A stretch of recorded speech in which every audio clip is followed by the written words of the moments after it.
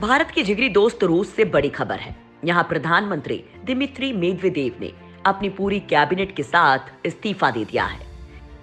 रूस की news agency के मुताबिक, राष्ट्रपति पुतिन ने मेदवेदेव को शुक्रिया कहा। लेकिन उनके मुताबिक प्रधानमंत्री लक्ष्यों को हासिल करने में सफल नहीं हुए हैं। दूसरी ओर यह भी कहा जा रहा है कि राष्ट्रपति पुतिन की तरफ़ से संविधान को बदलने का प्रस्ताव है और इसलिए मौजूदा सरकार ने इस्तीफा दे दिया। मेदवेदेव को सुरक्षा परिषद का अध्यक्ष बना दिया गया है। वो साल 2012 से रूस के प्रधानमंत्री हैं और राष्ट्रपति व्लादिमीर पुतिन के करीब रहकर काम करते रहे हैं। वो 2008 से 2012 तक रूस के राष्ट्रपति थे। पुतिन ने मेदवेदेव की कैबिनेट से कहा कि नई कैबिनेट बनने तक वे लोग काम करते रहे। आपको बता दें कि प्रधानमंत्री ने राष्ट्रपति पुतिन द्वारा देश को संबोधित किए जाने के बाद इस्तीफा दिया है। अपने भाषण के दौरान राष्ट्रपति ने संविधान में संशोधन का प्रस्ताव रखा। इसमें कैबिनेट की शक्ति विस्तार का प्रस्ताव रखा गया है।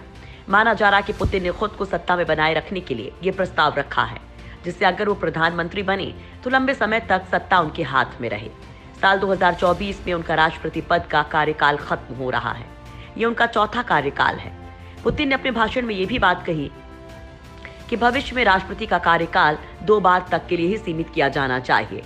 रूस के राष्ट्रपति व्लादिमीर पुतिन ने देश की संसद को प्रधानमंत्री और अन्य प्रमुख पदों के लिए व्यक्तियों को चुनने की शक्ति देने का प्रस्ताव रखा है। इसे रूसी संविधान में बड़े बदलाव के तौर पर देखा जा रहा है। कुछ लोग इसे पुतिन के राजनीतिक भविष्य के संकेत के तौर पर देख रहे हैं। बतौर राष्ट्रपति, पुतिन का वर्तमान कार्यकाल 2024 में समाप्त होगा। पुतिन ने राष्ट्र के नाम अपने संदेश में कहा कि वो संसद के निचले सदन डोमा को देश का प्रधानमंत्री तय करने की शक्ति देने का प्रस्ताव करते हैं। प्रधानमंत्री ही देश के उप प्रधानमंत्रियों और सरकार के मंत्रियों के नाम संसद के समक्ष पेश करेगा।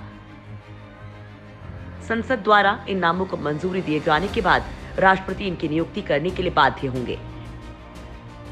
राष्ट्रपति को किसी भी कीमत पर संसद द्वारा मंजूर नामों को अस्वीकार करने की अनुमति नहीं होगी।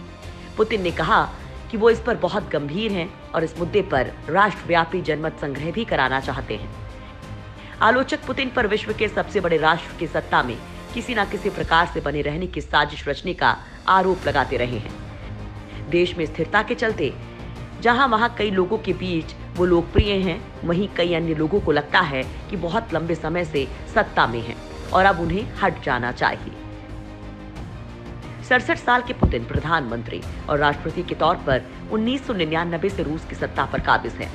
राष्ट्रपति के तौर पर उनका चौथा कार्यकाल 2024 में खत्म होगा वर्तमान संविधान के अनुसार कोई भी राजनेता लगातार दो से अधिक बार राष्ट्रपति नहीं बन सकता